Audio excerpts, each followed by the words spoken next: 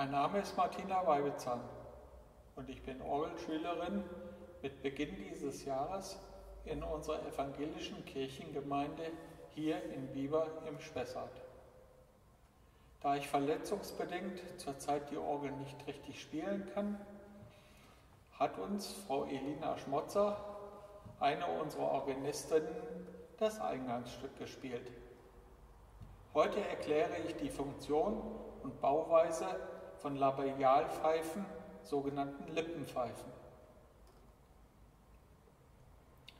Dieses möchte ich durchführen an unserer Orgel, die 2003 von Andreas Schmidt hier gebaut worden ist. Die Orgel ist nicht nun ein totaler Neubau. Man kann später sehen, einige Pfeifen wurden aus einer früheren Orgel, die hier in der Kirche stand, welche von den Gebrüdern Ratzmann gebaut wurde, übernommen worden.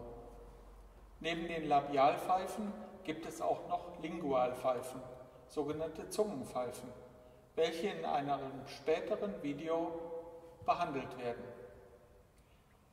Das Video gliedert sich in zwei Teile. Wie entsteht ein Orgelton eigentlich? Und das zweite, dann werfen wir einen Blick in die Orgel hinein.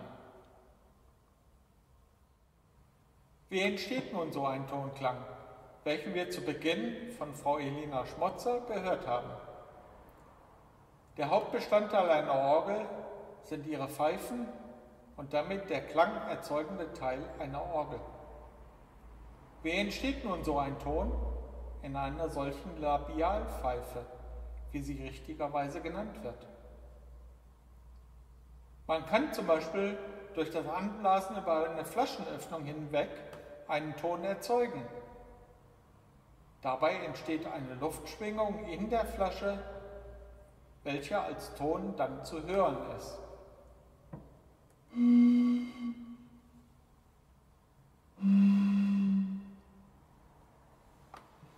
Das gleiche Prinzip gilt auch für die Orgelpfeife.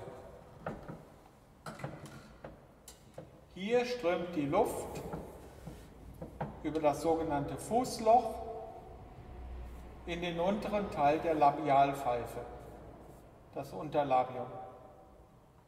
Die Luft strömt hier an der Kante und tritt aus der Kernspalte aus in das Oberlabium. Der Luftstrom wird dabei nach innen und außen abwechselnd abgelenkt und dadurch wird eine Luftschwingung in der Pfeife erzeugt. Diese Schwingungen nehmen Sie dann als Ton wahr.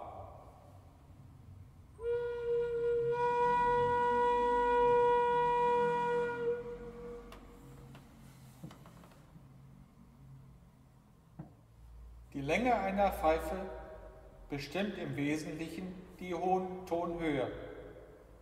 Die Länge ist von dem Aufschnitt bis zur ersten Öffnung, das ist die Pfeifenlänge, die den Ton bestimmt. Der Querschnitt einer Pfeife sowie hier die Labialbreite und die Höhe des Aufschnitts sowie den Winddruck, den ich habe, hier unten am Fußloch, prägen die Klangfarbe einer Orgelpfeife. Die entstehenden Grundschwingungen der Luft in der Pfeife beträgt eine Pfeifenlänge. Neben den Grundschwingungen werden aber auch andere sogenannte Oberschwingungen erzeugt, die ebenfalls zum Gesangklang des Tonbildes beitragen.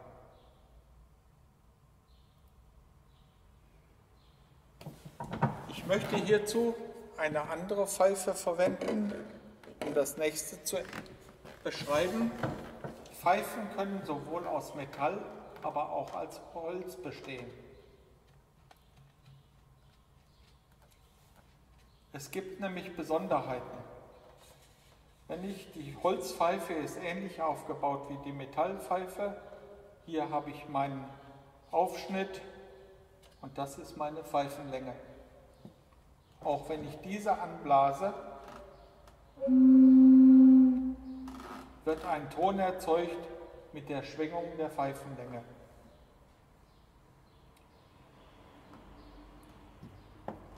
Man kann dieses Ende der Pfeife aber auch schließen.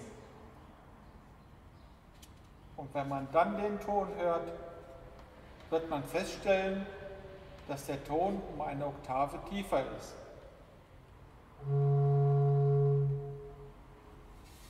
Das sind sogenannte gedackte Pfeifen. Hier beträgt die Grundschwingung dann nur noch die Hälfte.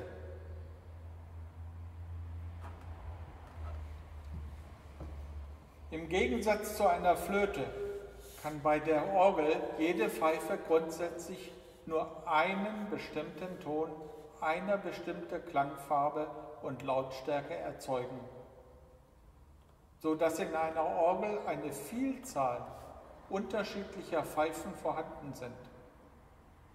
Um die verschiedenen Tonhöhen, Klangfarben und Lautstärken zu ermöglichen, verwendet man Pfeifen von verschiedener Größe, Bauart. Und dieses können wir uns einmal in der Orgel ansehen.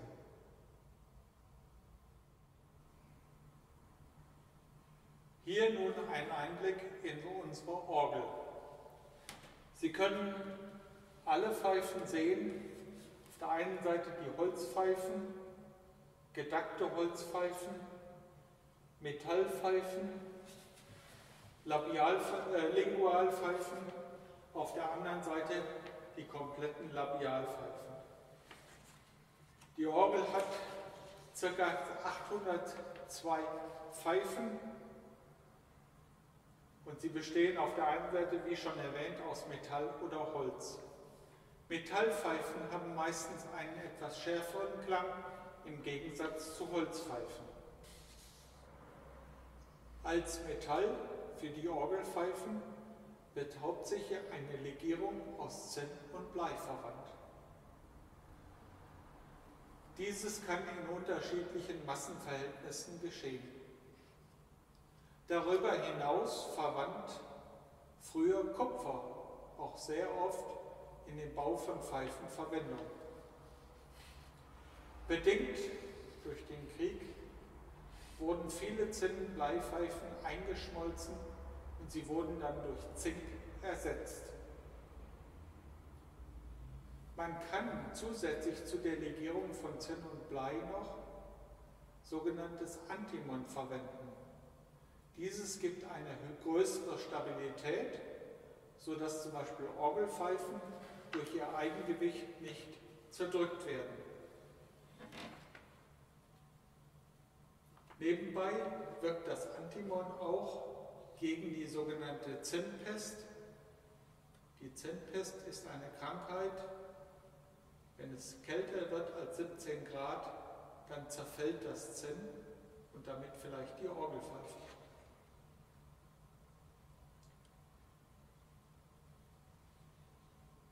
Das Alter einer Pfeife und wie sie zusammengesetzt ist, keinen Einfluss auf den Ton, weil der Ton selber ja in der Pfeife als Luftvibration zum Tragen kommt. Wenn man genauer hinguckt in unsere Orgel, dann kann man neue Pfeifen sehen, die doch recht glänzend sind, aber auch ältere Pfeifen, die leicht gräulich sind. Das heißt, sie stammen von einer früheren Orgel. Die Holzpfeifen werden meist aus unterschiedlichen Eiche, Nadel- oder Obsthölzern, gelegentlich aber auch exotischen Hölzern gefertigt. Das Wichtigste an den Holzpfeifen ist, dass sie innen drin keine Löcher haben oder Beschädigungen haben. Deswegen werden sie meistens mit Leim ausgegossen um dann total abgedichtet zu sein, um damit einen sauberen und klaren Klang zu erzeugen. Das Letzte, was ich erwähnen möchte, ist, jede Pfeife hat eine Grundlänge. Doch aufgrund von Temperatur und anderen Widrigkeiten kann es dazu kommen, dass die Pfeife nicht immer den gleichen Klang hat. Und außerdem muss sie ja auch im Gesamtbild mit den anderen Pfeifen sein. Dazu kann man Orgelpfeifen auch stimmen. Hierzu ist eine Öffnung und da ist das Material aufgewickelt worden. Und je nachdem, wie es aufgewickelt wird, wird, die, wird der Ton höher, wenn ich weiter aufwickel, oder wenn ich abwickel, wird er tiefer. Das gleiche findet man an Holzpfeifen. Dort ist auch eine Öffnung mit einem Metall, was man auf- oder abwickeln kann. Jetzt kommen wir nochmal zu den gedackten Pfeifen. Bei den gedackten Pfeifen gibt es eine solche Öffnung nicht, aber man kann den Stopfen mehr oder weniger reindrücken oder rausziehen, um die Tonhöhe entsprechend zu korrigieren. Ich danke Frau Elina Schmutzer für die musikalische Begleitung und Frau Dorothea Harris für die Video- und Tonaufnahmen. Im nächsten Teil erklärt Marius Möller weiteres über die verschiedenen Klangfarben von Orgelpfeifen. Ich danke für Ihre Aufmerksamkeit. Ihre Martina Weibezahn.